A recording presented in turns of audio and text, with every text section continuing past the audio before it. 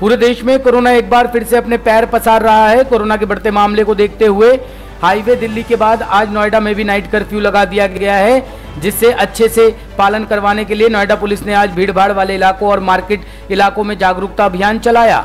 भारी पुलिस बल की ये तस्वीरें नोएडा के सबसे पौष मार्केट सेक्टर 18 की है और ये भारी पुलिस बल आज नोएडा में लगे नाइट कर्फ्यू को लेकर जागरूकता करने पहुँचे हैं। एडिशनल डीसीपी रणविजय सिंह ने बताया कि हम बाजारों में आम जनता को नाइट कर्फ्यू को सफल बनाने के लिए कोरोना प्रोटोकॉल के पालन करने की अपील कर रहे हैं। आज रात 10 बजे से पूरे ज़िले में कर्फ्यू लागू हो जाएगा।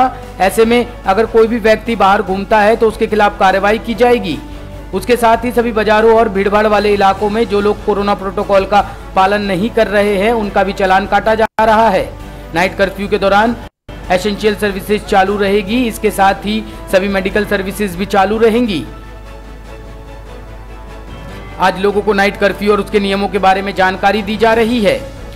देखिए कोविड जिस तरह से फैल रहा है, इसका सामना करने के लिए हम सब लोग को तैयार होना पड़ेगा। और उसी क्रम में जो कोविड के लिए दिशा निर्देश जारी किए गए हैं, उसके अतिरिक्त आज यहाँ पर आज से नाइट में 10 बजे से लेकर सुबह पाँच बजे तक रात्रि कर्फ्यू लगाया गया है और ये अग्रिम आदेश तक चलेगा।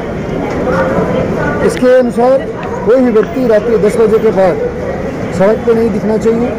अगर कोई घूमता हुआ, दिखता हुआ दिखता है तो उसके खिलाफ कार्रवाई की जाएगी। इसमें केवल जो इसेंशियल सर्विसेज़ के लोग हैं, वही एग्जेप्टेड रहेंगे और उनके साथ प्रॉपर उनका भी होना चाहिए। इसके अतिरिक्त यहाँ पे सारी पुलिस, सुबह शाम अपने क्षेत्र में कोविड का जो गाइडलाइंस है, जिसमें तीन गोल्डन प्रिंसिपल हैं उसको लागू करने के लिए लगी हुई है और हम लोग देख रहे हैं, आपने देखा है कि यहाँ पे जो लोग भी उल्लंघन करते हुए पाए गए, उनके खिलाफ कार्रवाई की गई है। और ये लगातार जारी रहेगा।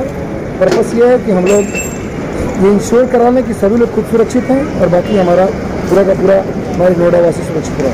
Thank you